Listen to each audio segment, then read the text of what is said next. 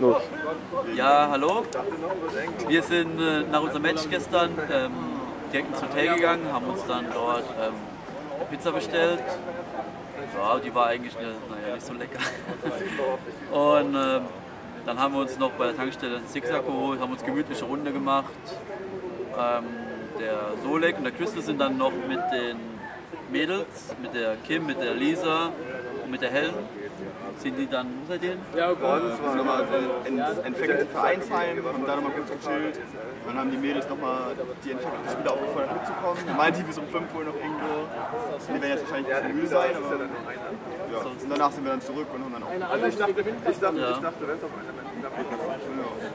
Ja, und jetzt sind wir heute hier. Äh, mal wieder schönes Wetter, aber ein bisschen warm drin. Schwitzt man ziemlich viel, wenn man dann auf der Bühne ist. Ähm, geht heute gegen Faculty. Meines Erachtens gute Spieler, ne? Wird auf jeden Fall ein cooles Finale. Ja, weil es sind einfach Freunde von uns, also macht Spaß gegen die zu spielen. Auch beim Verlieren, also denen gönnen wir es auch, weil die Ja.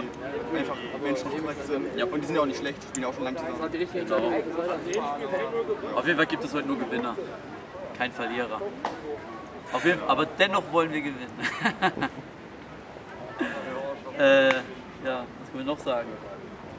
Ich bin nicht müde. Er ist nicht müde. Ich hoffe, ihr schaut uns zu. Ja.